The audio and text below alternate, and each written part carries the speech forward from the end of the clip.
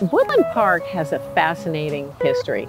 In 1903, the Houston Electric Company, who had a fleet of electric trolleys, wanted to increase ridership on their trolley that came down Houston Avenue.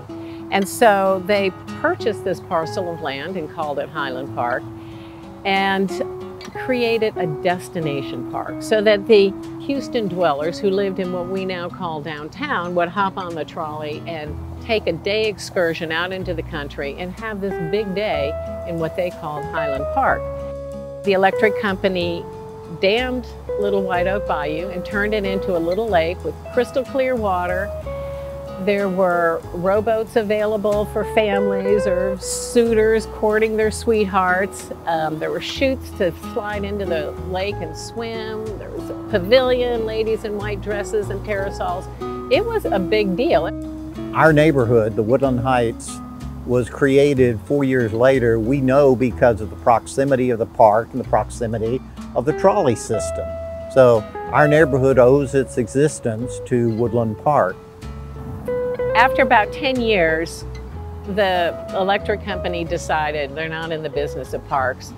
And so they um, deeded the property to the City of Houston's Park Department.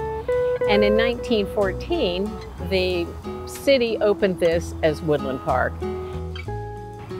Woodland Park was really a locus for the community at that time. There were dances in the Civic Center, movie nights. Kenny Rogers played with his high school band in this community center. And that lasted well into the 60s probably and sometime in the 70s and 80s. The, the bloom fell off the rose and this park just slowly receded into the background and people pretty much forgot about it.